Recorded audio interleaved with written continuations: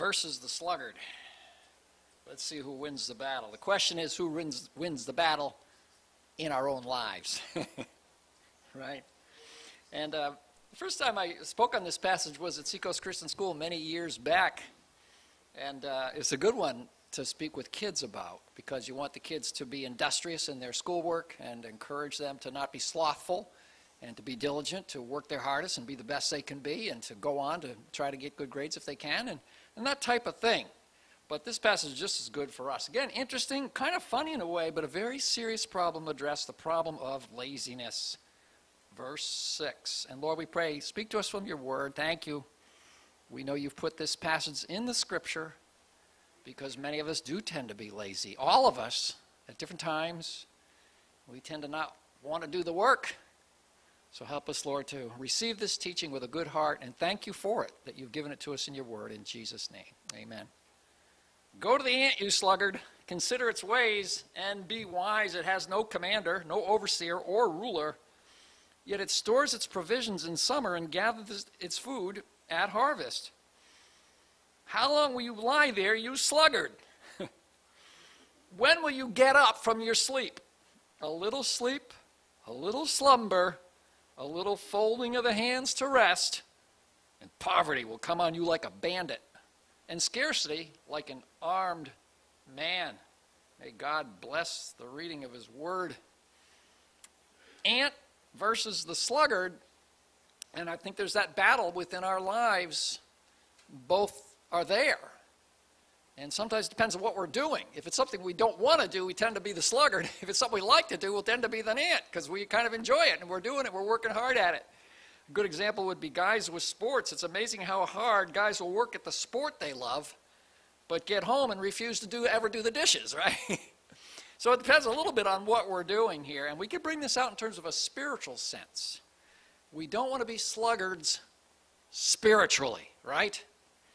So we'll see that application. Old story I read goes something like this A farmer and his wife were sitting in front of the fireplace one evening, just whiling away the time. And after a long silence, the wife said, Jed, I think it's raining. Can you get up and go outside and see?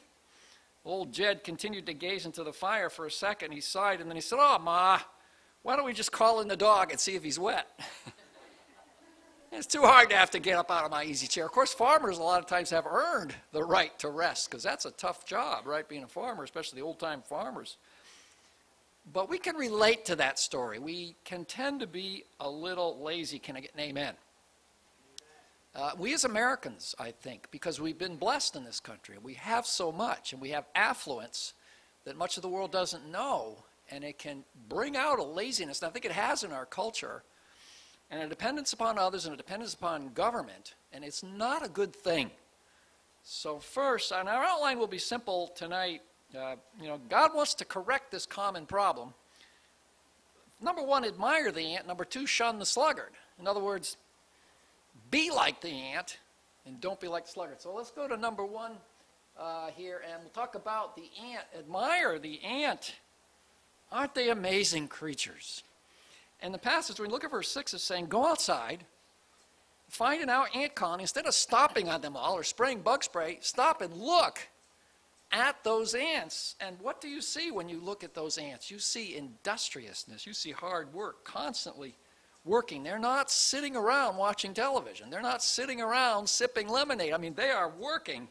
They're not dozing off. They're very resourceful and very tenacious. Um, and I'll share a few facts about ants just for fun here. Ant colonies range in size uh, to highly organized colonies that may occupy large uh, territories, consist of millions of individual ants. Colonies, colonies have been described as superorganisms in themselves because of the way, pant, the way ants work together, almost as one organism, accomplishing their goals.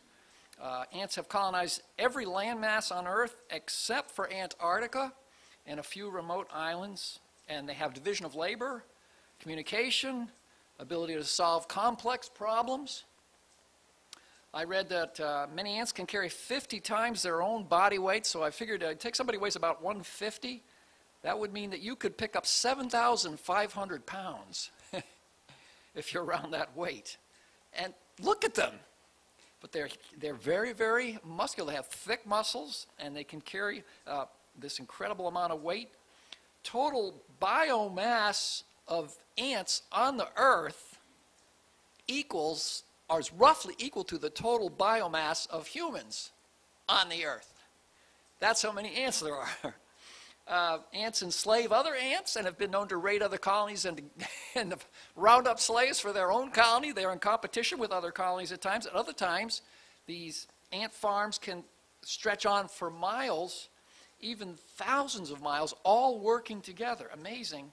And they, of course, they follow trails, as you know. And the way that works is they'll send out their forager ants, and they find a trail into your kitchen where your crumbs are, and then they leave down pheromones so other ants can follow. But, the, but when the ant comes, after the first ant finds your crumbs, he goes straight back to it, because he may weave back and forth looking for food, weaving all over, ends up in your kitchen, finds it, then they go straight back to the colony. Like a dog, they know how to go back to their colony. They get a straight route back, and then the other, and that's where they lay down their pheromones, and the other ants can come along and just go straight to that spot in your kitchen until the source is gone. So they may only eat your crumbs to a point. I mean, when the crumbs are gone, you may not see them anymore. So sometimes you have ants and then they just kind of disappear because they got all the food. So, so you don't have to sweep your floor, just let the ants get it, and then they'll be gone when it's gone. so they are amazing. Let's look at this text, verse 7. Has no commander or guide. They do have queens, but no overseer or ruler. They just know what to do. Depending on what their function is, they do what they need to do. Yet they store their provisions in summer and gather their food to harvest. This is true. Ants do this. They prepare. Uh, Proverbs 30, 25, ants are creatures of little strength, apparently, to look at, you would think. Yet they store up their food in the summer. Tiny, itty bitty creatures, but they work ahead, they stockpile, they plan for the future.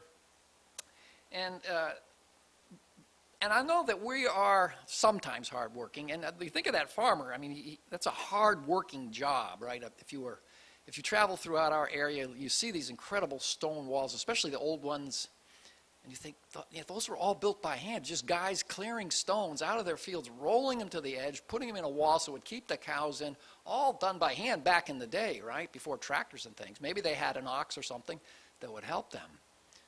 But so much hard work in that type of economy, and that's true in Bible times in an agrarian or agricultural economy, but we don't live in that kind of economy, and you can get away with not working, right? Even if you're working. You could be punched into the clock and be asleep behind the pallets, right? and these are the kind of guys that get fired if they get caught, but people try to do this. People can be very lazy, even people that are supposedly on the clock. But you know, laziness is nothing new. It was common in Bible times. There were always have always been the sluggard. I'll quote Second Thessalonians. Remember, Paul addresses this in the early church. Paul looked out there in, in Thessalonica and saw lazy Christians there. And so he writes, In the name of the Lord Jesus Christ, we command you, brothers, to keep away from every brother who is idle and does not live according to the teaching. You yourselves know how you ought to follow our example. We were not idle when we were with you, nor did we eat anyone's food without paying for it. On the contrary, we worked night and day, laboring and toiling so that we would not be a burden. We did this not because we did not have the right to such help, but in order to make ourselves a model for you to follow. And here's that famous verse For even when we were with you, we gave you this rule if a man will not work, he shall not eat. We are to work for our food. That's what Paul writes to Thessalonica. Now, you know this old saying idle hands are the devil's playground. You think that's true? They certainly can be, right? Maybe if we have a lot of free time, we read good Christian books, but we could still be being labor, lazy, right? But it's true. I mean, I, God knows we need to work, and He sets work before us. I do believe, I agree with the Puritans, the Puritan work ethic, that all work is honorable. We saw this documentary I recommended on Martin Luther. It's been on PBS. It's a two hour special. Amazing, very good, eh, very good, very, very, very good. Not Martin Luther King Jr., but Martin Luther, the Reformation, going back to the 1500s. And he adhered to this principle as one of his teachings, and he saw this, and the early church didn't see this, the Catholic Church didn't see it, that all work is honorable. And you serve the Lord by the work you do, whether it's washing floors or preaching the gospel, or you're a missionary, or you fix, you know, wagons or cars. So it's all honorable. It's an honorable thing to have the health to be able to work. Praise God for a strong arm and a smart mind so that we can do things. And uh, even Jesus said, I must work the works of him who sent me while it is day. The night comes when no man can work. Our work is done when we get to glory. So if we have to sweat a little bit here, it's okay. A day will come when there's no more work, just, just praising the Lord and serving him.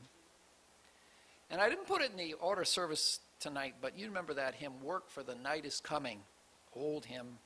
Work through the morning hours, work while the dew is sparkling, work mid springing flowers, work when the day goes bare, work in the glowing sun, work for the night is coming when man's work is done. This is the place here on earth for us to do our work. So admire the ant, and that's a good example of what ants can do. They are amazing creatures. They work together, lifting heavy weight. It almost, I don't know if this, this is probably a drawing, but it, but maybe they're making a bridge, right? So all the rest of the ants can come across and get the food source. Let's go to the next one. But shun the sluggard. This will take just a little longer because there's a lot in the book of Proverbs about good old Garfield, right? Good example of a sluggard. How long will you lie there, Garfield? When will you get up from your sleep? Verse 9. How long will you lie there, you sluggard? So the book of Proverbs telling us that this is the characteristic of the sluggard. They like to sleep, this fellow. Uh, and he's described in great detail. We'll look at a few of these. Look at Proverbs, and some of these are kind of funny, I think. Look at Proverbs 20, verse 4. That's a very big topic in Proverbs. What do you think of this one? Proverbs 20, verse 4. A sluggard does not plow in season, so at harvest time he looks but finds nothing. You know, he's like he's hoping that you know, maybe somebody else planted his fields for him, or maybe the crops are just going to miraculously come up. So along comes harvest, everybody else's corn is coming in, and he looks out and he's got nothing. Oh, that's right. Gee, I didn't plant anything, right? The law of sowing and reaping is always in effect, right? What we sow, that shall we reap. He didn't sow anything, he's not going to reap anything. Go to chapter 21. The uh, sluggard described in great detail. 21, verse 25 the sluggard's craving will be the death of him because his hands refuse to work. And maybe his craving is just to sleep all the time, just to relax and rest and to not do anything. And of course, again, agricultural economy, it could spell his very doom, his death. Go over to chapter 22. Here we find a few here. Or, no, actually, just one right here. And then we get to chapter 26. But chapter 22, verse 13, maybe right across the page there in your Bible. The sluggard says, and this is found a couple places in Proverbs, there's a lion outside. I'll be murdered in the streets. Oh no, there's criminals out there, there's lions. I better stay indoors today. I better not go down to the, to the workplace. I better just be home. I'll be a lot safer if I stay home. Remember the old saying, nothing ventured, nothing gained. There is risk in going out your front door, but we have got to do it, right? Amen. How about, now go to chapter 26. There's a few in chapter 26 that are right in a row. Easy to find. 26, 14. How about this one? As a door turns on its hinges, so a sluggard turns on his bed. I sleep on the left side, sleep on the right side, sleep on my back, sleep on my stomach, then back around, left side, right side, sleep on my back, then back around, sleeping, and then morning comes, shut off the alarm, keep sleeping, right up to lunchtime, keep sleeping, turning back and forth. That's the sluggard. How about verse 15? The sluggard, I like this one. The sluggard buries his hand in the dish.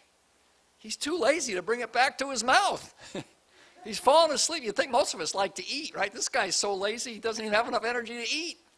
He just, uh, let's go back to bed. I don't need breakfast. if you want to make me breakfast in bed, maybe I'll eat something. But other than that, man, I'm, I'm going to just stay. That's the sluggard. How about verse 16? The sluggard is wiser in his own eyes than seven men who answer discreetly. He's so wise in his own eyes. He thinks he's got it all together. In reality, he's just plain what? Lazy. Go back to chapter 6. So those are some good cross references on the sluggard. And let's go look, look at verse 10, Proverbs 6:10. A little sleep, a little slumber, a little folding of the hands to rest, and poverty will come on you like a bandit, and scarcity like an armed man. And in Bible times, this clearly was true. You know, that economy, if you're lazy, your farm is not going to produce, and you're not going to be able to feed your family. And when the weather's right and it's that time of year, you got to get things planted. When it's time for harvest, you got to get out there and harvest. And we still have some working farms in our area. I like to go out, uh, I think it's Blackberry Hill Road out of Berwick. If you go out there, there's several farms out there. They have beautiful, beautiful corn this year. Just corn, almost as far as the eye can see in one of those fields out there. And they had a great year for it, but they've got to harvest it, right? It's a lot of work. Uh, not too long ago, I went by a blueberry, those high bush blueberries, and the guys were out there harvesting by hand, a lot of work. They maybe have machines for this, but on this farm, they were just harvesting them by hand. It's a lot of work to bring in all those blueberries. And you know, they all get ready to be picked at the same time. And you know, and so back in potato season, back up in Maine, I guess, you know, they'd even get the kids out there working because it's harvest time. You got to go to work. Today, in our economy, except for agricultural America, we have so many state programs, federal, local programs, even churches that provide help for those who are poor, that it doesn't tend to promote industry. And this is a big problem with the welfare system and our, all of our food pantries and things. We want to help people that are hurting financially and they don't have enough food. On the other hand, we don't want to promote laziness. And it can happen. You, and you, we probably all know people have decided maybe not to marry because if they marry, they lose their benefits, right? That's not right, is it? It's, it's, no matter which way you look at it, it seems like society wants to encourage marriage, you know, not people living together. This is a problem. These are things that need to be worked out by the politicians uh, so that we can have responsible programs that help the people who are truly in need, but aren't helping those who are just being lazy and trying to get out of work. Um, so, you know, and then you, and maybe some of us have even experienced this, where you're in this position where you do get benefits and you can work a certain number of hours, but if you work more than that, you lose your benefits. So by working more, you actually earn less. You know what I'm saying? But that's not right. We, you know, the Bible wants to encourage us to be hardworking people, but we should help the needy. That, I'm, I'm not saying we shouldn't have these programs, but they have to be well administrated so that we can encourage this teaching in Scripture. So diligence, industry, productivity, and spiritual fruitfulness too. So let's talk about that in regard to this teaching. We want to be spiritually fruitful, not just have our farms be fruitful. Our lives need to be fruitful for the Lord. Remember the parable of the talents? Let's take a quick look at it, Matthew 25. It is kind of a long parable, so we'll kind of skim it. Matthew 25, but I think it's worth, and there's a few parables we could look at tonight, but I picked this one. It's probably the most relevant. So, Matthew 25, uh, here, verse 14. And you probably remember the story, so we can go down through it quick. But a man was going to take a journey. He called his servants, and he trusts his property to them. And to one he gave the five talents, to another the two, and to another just the one talent. And of course, the man with the five, he put the money to work, and he got five more. Then verse 17, you have the one with the two. Even he did well. He got two more. But you have this other man, verse 18, the man who had received the one talent went off, dug a hole in the ground, and hid his master's money. This is not good, right? Now remember, we get our word talent today from this parable. We have talents, we have spiritual gifts. We do not want to dig a hole and put them in the ground. That's laziness. I don't want to be that active in my church, right? I don't want to get out there and do things for the Lord. I'd rather just stay home. After a long time, the master, of course, verse 9, he returns, he settles accounts with them. And the talent, according to the NIV Study Bible, the term talent was first used for a unit of weight about 75 pounds. So if that's what this refers to, this was a huge investment. Even the one with the one would have had perhaps 75 pounds of silver that was entrusted him by a very wealthy man. It did become uh, the term for a unit of coinage. But the indication is that this would have been a large amount that were given to these one five, one two, and one uh, one. So, of course, this is where we get that famous verse, verse 21 Well done, good and faithful servant. You've been faithful with a few things, I'll put you in charge of many things. Come and share your master's happiness. Wouldn't we all love to hear that in glory? We've been faithful, and we can share in our master's happiness through eternity. Again, the man with the two, same thing. Well done. But then, verse 24 the man who had received the one talent came. Master, he said, I knew that you are a hard man, harvesting where you have not sown and gathering where you have not scattered seed. So I was afraid. And I went out and hid your talent in the ground. See, here's what belongs to you. So he did return to him what was given to him. You might say, well, at least he had that much responsibility. He didn't lose it, he didn't spend it. But he didn't invest it and he didn't multiply it. He didn't really use it. It just he just watched it. And that's laziness, isn't it? His master replied, You wicked, lazy servant. That verse there has always got me. What a thing. Would the Lord, you know, we often like to quote, Oh, well done, thou good and faithful servant. But some people are going to hear this, You wicked, lazy servant. I don't know if they're saved or unsaved. So you knew that I harvest where and so forth. You should have at least put my money on deposit, verse 27, with the bankers. And of course, they take the talent from him and give it to the others. And verse 29 is our key to the truth here. For everyone who has will be given more, and he will have an abundance. Whoever does not have, even what he has, will be taken from him. And throw that worthless servant outside into the darkness. There'll be weeping and gnashing of teeth. So, what's the lesson of that parable? If you had to get it down to a sentence, because it's a long parable, what's the point, Lord? Don't be lazy. That gets it down to three words. The point is, we need to invest our talents, right? I, th- I think it's fairly obvious. God expects a return on the investment he gives us. Right? Because a master, I think, represents God in the parable. He expects us to bring a return to him. And only laziness, I think, will keep from bringing that return because he put it in us. He gave us our talents, he gave us our spiritual gifts. You know, he will fill us with our spirit if we ask him. He will give us wisdom to know how to use it. It's just laziness that would result in, and in this case, maybe it was fear. He was afraid, right? He's afraid of his master. Uh, would, would mean that we didn't produce. So, again, a little sleep, a little slumber, I'm going to add a word, a little folding of the hands to rest, and spiritual poverty, poverty will come on you like a bandit, and spiritual scarcity like an armed man. We need to be diligent about our spiritual lives and our spiritual fruitfulness. We can't expect it to just happen. We've got to get out there and invest it. So, in the natural realm, of course, verse 10, verse 11 is talking about a literal poverty, but I think we can apply it spiritually. And you might remember Jesus saying this before we wrap it up. Um, Blessed are those servants whom the master finds awake when he comes. Truly I say to you, he will dress himself for service, from Luke 12, and have them recline at table, and he will come and serve them. Isn't that a wonderful verse to think? At some point, the master is blessed that we've been hard about his business. And he will dress himself, as he did. Remember, he washed the disciples' feet? It's almost that kind of picture. And have us recline. You take this verse literally, and Jesus himself will come and serve. And I think only a very few, only a few very special servants to the Lord will know the truth of that verse in glory. That's one of those verses that I don't think is for everybody. It's for certain ones who have served well in this life, and they might experience that place at the table where the Lord Jesus himself comes to serve them. Amazing. So let's go to that closing slide, and uh, yeah, just, you know, the question.